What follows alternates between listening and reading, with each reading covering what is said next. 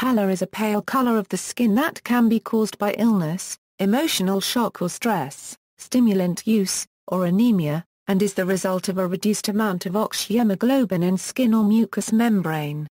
Pallor is more evident on the face and palms. It can develop suddenly or gradually, depending on the cause.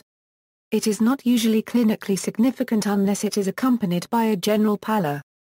It is distinguished from similar presentations such as hypopigmentation or simply a fair complexion.